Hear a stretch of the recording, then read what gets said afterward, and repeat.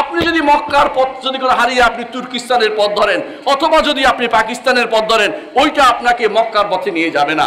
আপনাকে অবশ্যই মক্কার পথে চলে যারা মক্কায় গেছে, সেই পথটা নিতে হবে। আপনি জানেন মোহাম্মদ রসুল্লাহ সাল্লাহ আলাইস্লামের সাহাবিরা সবাই জান্নাতি। ওই পথে চলেন, তারা যা যা বলেছে তা মানেন, কিন্তু আমাদের সমাজের বিশাল বাহিনী, বিশাল কাপড় পরা, বিশাল টুপি পরা, বিশাল মসজিদ দখল করা, এই মানুষগুলো আপনি দেখবেন কোরআন এবং সুন্নার বাইরে নিজের ব্যাখ্যা দ্বারা করাচ্ছে। যখনই তাদেরকে আমরা বলব আল্লাহর কথা এটা কিন্তু নয়। কথা এটা নয়, এই মারামারি করা যাবে না। তারা মারামারি করতে ওস্তাদ, হানাহানি করতে ওস্তাদ। তাদেরকে আমরা বলি, কাউকে কাফের বানাবেন না। তারা এরকম মিম্বর পাইলে, মাইক পাইলে মূলবীর সব কাফের বানাই দিচ্ছে। দেখছেন আপনারা? অথচ কাফের বানানো এক কথা, কাফের হয়ে যাওয়া আরেক কথা। কাউকে তাকফির করার ক্ষমতা ইসলাম বলেন যতক্ষণ পর্যন্ত দুইটি শর্ত পূরণ না করবে এবং পাঁচটা বাধা দূর না করবে, কাউকে কাফের বলতে ইসলাম বলেনি। দুটি শর্ত কি? এক নম্বর শর্ত হচ্ছে তাকে সেটা জানাতে হবে এবং দুই নম্বর শর্ত হচ্ছে তার কোনো সন্দেহ থাকলে দূর করতে হবে। এই দুই শর্ত দুই শর্ত পূরণ না করা পর্যন্ত কোনো ব্যক্তিকে কাফের বলা যায় না। অথচ তারা কথায় কথায় মানুষকে কাফের বানাই দিচ্ছে। শোনেন না আপনারা, কথায় কথায় কাফের বলছে। আবার আরেক গোষ্ঠীকে দেখবেন, কি কি করছে? কাফের কেউ তারা এখন ইমানদার বানিয়ে দিচ্ছে।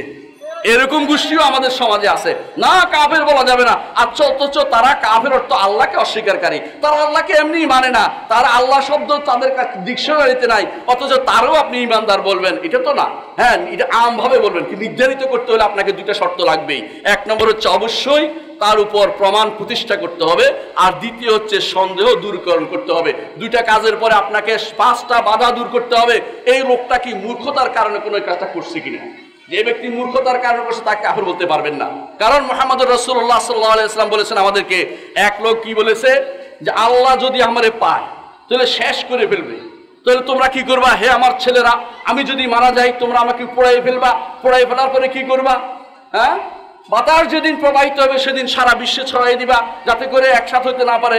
আল্লাহ সবগুলিকে একত্র করে বললেন যে, আবার তোমাকে একত্র করেছে, এখন কি বলবে? রসুল্লাহ হাদিস এটা নাকি? তখন আল্লাহ তারা বলেন তো তখন সে আল্লাহকে বলেন আল্লাহ, আমি তো আপনাকে, আমি ভুল বশত এটা করেছি, আমি জানতাম না যে আমার জ্ঞান ছিল না। আল্লাহ তারা তাকে ক্ষমাও করে দিয়েছেন। ঠিক কিনা তাহলে বুঝা, একজন মানুষ ভুলের কারণে ক্ষমা পেয়ে যাবে। ক্ষমা পাওয়ার কথা সেখানে ঘোষণা করা হয়েছে। আবার দেখেন, কেউ ভুল করে বললেও ক্ষমা পেয়ে যায়। একজন মানুষ তার খাবার হারিয়ে ফেলেছে মরুভূমিতে। মনে আছে আপনাদের সেটা? মরুভূমিতে খাবার হারিয়ে ফেলেছে, তখন সে মনে করছে, আর তো উঠ হারিয়ে ফেলেছে, আর আমার বাঁচার কোনো পথ নেই। সে এখানে শুয়ে আসতে মরেই যায়। এমন সময় চোখ খুলে দেখে যে খাবার ফিরে এসেছে উঠ ফিরে এসেছে। তখন কি বলল সে? আল্লাহ, তুমি আমার বান্দা, আমি তোমার রব। ভুল করে ফেলেছে, কিন্তু ভুল করার পরেও সে কিন্তু কাফের হয় নাই। কেন? ভুলে বলে ফেলেছে। ভুলে বলে ফেলেছে। বুঝতে পারছেন কথাটা? ঠিক অনুরূপভাবে আরও তিনটা জিনিস আছে যেগুলির কারণে মানুষ কাফের হয় না। জোর করে বলা হয়েছে অথবা তাকে এমন চাপ ছিল যা সে চিন্তা করে নাই। আপনিও বুঝতে পারেন না তার উপরে এসব কোনো চাপ থাকলে কাউকে কাফের বলা যায় না। কারও উপরে কোনো জোর করে প্রেশার নিয়ে প্রেশার করে কাউকে বললে আল্লাহ তালা কোরআনে কারি বলছেন, ইল্লা মান উকরিহা ও কলবু মুতমা ইন্নুল ইমান একরা থাকলে তাকে কাফের বলা যায় না।